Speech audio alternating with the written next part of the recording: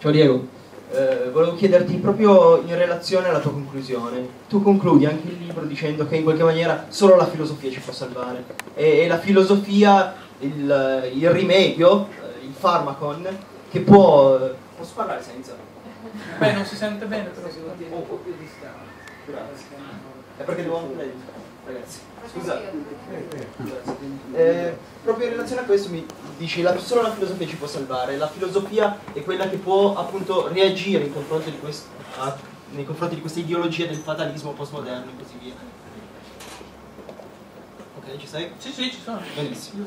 Volevo chiederti eh, delle delucidazioni proprio in relazione al testo e alle tue ultimissime righe.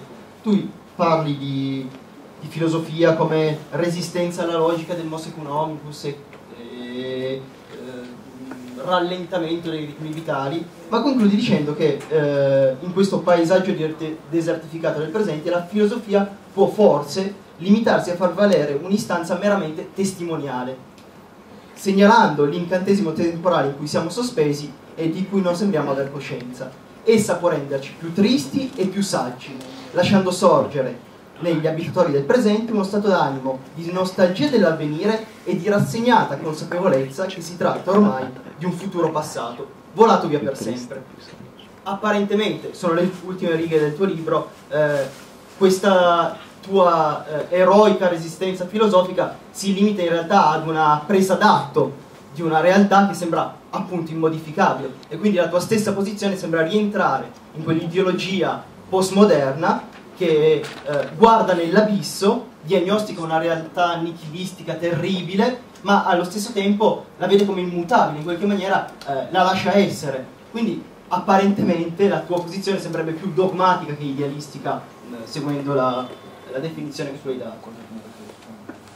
Posso... dico solo una cosa eh, beh, ti ringrazio per... Meno male che non ho scritto un giallo perché hai letto la conclusione, quindi si sarebbe scoperto. Però eh, va bene. Ecco no, in realtà eh, la persona che adesso ha parlato ha colto secondo me l'ambiguità maggiore del pensiero di Diego Fusaro. Secondo me c'è una contraddizione in Diego Fusaro. Da un lato lui si richiama apertamente non soltanto a Marx, ma anche a Fichte, il pensatore della prassi il pensatore per cui la filosofia non è unicamente testimonianza, ma è un invito alla trasformazione del mondo. Perciò, eh, da un lato, Diego Fusaro eh, si richiama a un filone di pensiero che eh, interpreta il tempo in cui viviamo come tempo di trasformazione radicale e anche, se usiamo questa parola, rivoluzionaria. Dall'altro però, nello stesso tempo, nello stesso modo, eh, sono troppo numerose in Diego Fusaro le ehm, formulazioni per cui la filosofia ci salva unicamente come testimonianza contemplativa e disincantata. Fra le due cose c'è contraddizione. Quando io ho finito dicendo che ci sono tre aspetti in Diego Fusaro, il filologo marziano, l'interprete di Marx e il filosofo ancora da diventare, intendevo esattamente questo. Esattamente questo. Perché se Diego Fusaro eh, riconfluisce nello genere letterario secondo cui non c'è più niente da fare, è stato bello sognare, per usare un, le canzoni, non mi ricordo più, di Bobby Solo, eh, che è esattamente il genere letterario, il genere, il genere letterario di, di, di, Galimberti. Di Heidegger no, Heidegger è molto più profondo. Però oggi, eh, non dimentichiamo mai, Diego Fusaro ha fatto molto bene a finire con l'ideologia, perché a fianco della filosofia ci sono i gruppi intellettuali accademici europei occidentali, il cui 80-90% è pagato dallo Stato, cioè da noi, per insegnare ai giovani che non più niente da fare. Ora, possiamo anche fingere che non sia così, ma siccome questo è il punto fondamentale, a me non interessa oggi fare l'ennesima sparata contro la filosofia universitaria alla Schopenhauer e così via, anche perché oggi Schopenhauer ha il potere eh, oggi la situazione è completamente rovesciata rispetto a 200 anni fa. 200 anni fa Schopenhauer se la prendeva con la filosofia al potere di Hegel perché essa era politica, quando invece Schopenhauer voleva, voleva invece eh, consigliare e spingere a una riflessione puramente esistenziale del destino del singolo uomo sradicato dagli altri. Oggi Schopenhauer ha il potere. Oggi Schopenhauer è arrivato al potere, nella forma degli intellettuali universitari postmoderni no? i quali ripetono tutti, alcuni in maniera neoliberale, alcuni in maniera sapienziale, alcuni in maniera heideggeriana, altri in maniera weberiana e così via, che non c'è più niente da fare che oramai il destino della tecnica e dell'economia sono sovrapposti sul mondo, che l'esperienza storica del comunismo storico novecentesco ha dimostrato che ogni tentativo di cambiare il mondo porta le cose ancora peggio e così via, così via. Ora, questo gigantesco apparato ideologico, perché l'ideologia si concretizza in apparati ideologici, occupa dall'80 al 90% dei gruppi intellettuali delle facoltà di filosofia in Europa occidentale, probabilmente non in America Latina non nei paesi arabi, però in Europa occidentale sì, ed è il riflesso filtrato dell'egemonia dell'impero americano, ovviamente con alcune mediazioni, ma non troppe, eh? 5-6 non di più, eh? 5-6 non di più. No? Ora, eh, il fatto è questo, il destino di Fusaro si eh, giocherà su questo. Se Fusaro vorrà essere fino in fondo fedele alla linea emancipatrice Spinoza Fichte, Hegel, Marx, oppure se confluirà, sebbene in forma particolarmente colta e chiara e così via, nella idea secondo cui la filosofia ci salva unicamente come testimonianza.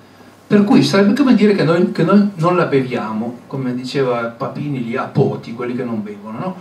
Perché se la filosofia avesse unicamente come scopo la consolazione della filosofia, e beh, il signor Goethe l'ha scritto già molto bene eh, 1500 anni fa, eh? Per cui se vogliamo unicamente dire che la filosofia ci consola dall'alienazione, ci consola dalla manipolazione, ci consola dallo scontro continuo fra Rosy Bindi e Berlusconi, eh, ci consola continuamente dall'intrusione del grande fratello dell'isola dei famosi, ci consola continuamente dalla, dalla manipolazione, beh questo chiedo scuse, vedi come il cucco.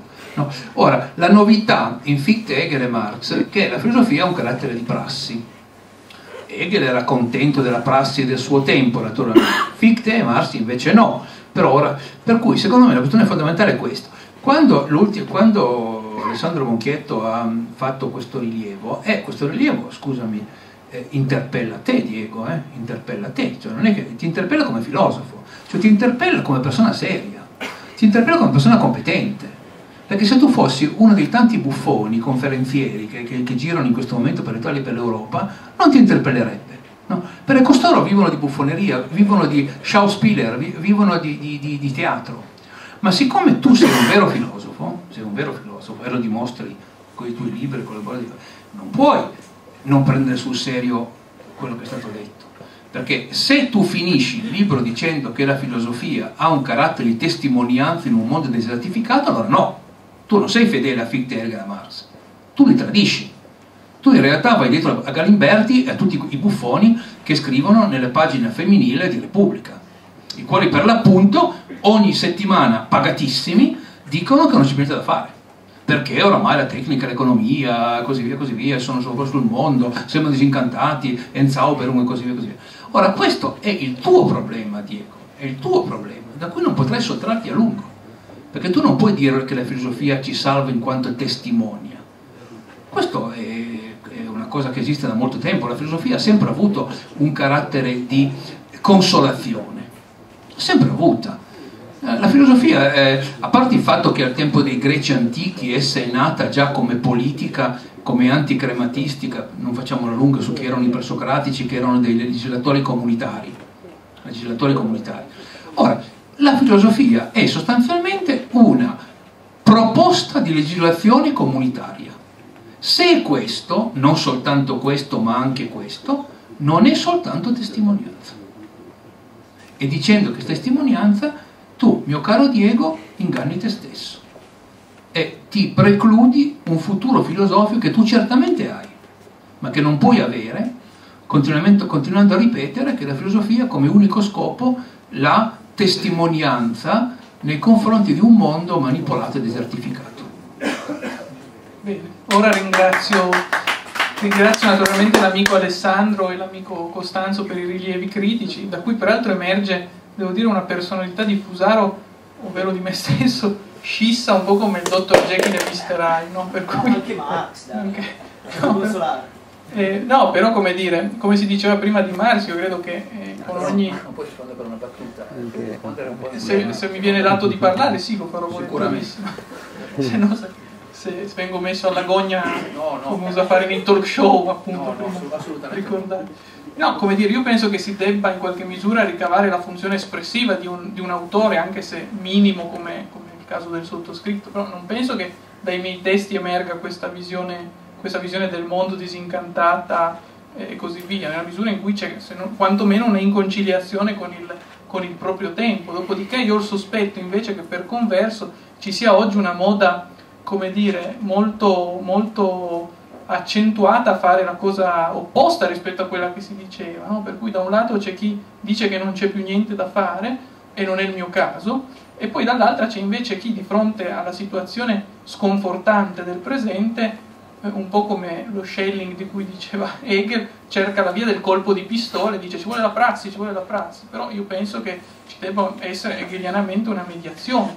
Eh, come dire, io come concilio queste due cose? Il fatto che do alla filosofia un valore testimoniale, dall'altra poi dico che bisogna cambiare il mondo, e questo non ho mai... cambiare il mondo detta così sembra una frase una frase da bar, ma invece ha una radice filosofica profonda se pensiamo a come la utilizza Fichte ad esempio. Eh, il fatto è che io penso che oggi questa duplicità, per cui da un lato il mondo sembra davvero intrasformabile, ma dall'altro non bisogna rinunciare a trasformarlo, io penso che si compendi molto bene nella, nell'affermazione che usava Antonio Gramsci quando diceva pessimismo della ragione ottimismo della volontà perché nel momento storico presente, come dire, io dal punto di vista della ragione sono molto pessimista, perché vedo da un lato venir meno ogni forza sociale in grado di resistere al capitalismo globalizzato, no? nel senso che la vecchia classe operaia di, a cui faceva riferimento Marx si è rivelata facilmente integrabile nel sistema dei consumi. Le moltitudini di cui dice Toni Negri sono del tutto incapaci di fare la rivoluzione, al massimo possono spaccare vetrine fare cose di questo tipo e così via.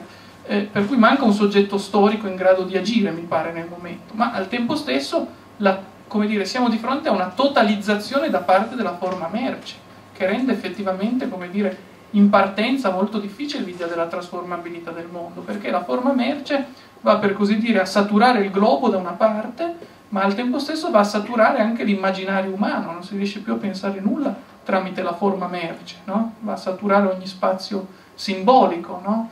per cui addirittura si, si, rideclina in termini mercatistici anche, si rideclinano in termini mercatistici anche cose che fino a ieri erano considerate dei beni e non delle merci, l'acqua ad esempio, la sanità e così via.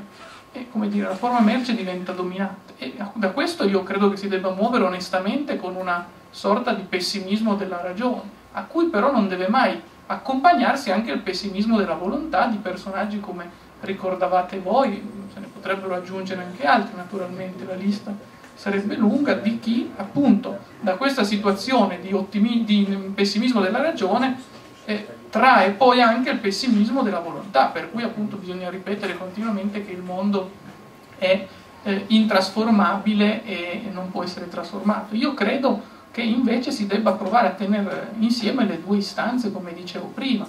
Poi, come dire, il libro eh, non penso che sia così in questa direzione come, come lo sembrava dipingere Alessandro. Penso che il libro eh, apra, riapra proprio l'idea di una riappropriazione del futuro. Mm? Continuamente ritorna questo tema nell'ultimo, nell'ultimo capitolo, cioè il fatto che il tema fondamentale della filosofia oggi deve essere riaprire l'idea di un futuro diverso, rifar tornare in vita quella che Bloch chiamava l'ontologia della speranza intesa quest'ultima come possibilità, cioè il fatto che il mondo così com'è, che pure sembra intrasformabile oggi, in realtà è pur sempre fatto, la stoffa di cui è fatta è sempre quella della possibilità, della possibile trasformazione ad opera di un soggetto che pure al momento io non vedo, non vedo in opera. Però penso che sia la diagnosi che, che è stata fatta del, del libro sia da questo punto di vista fuorviante.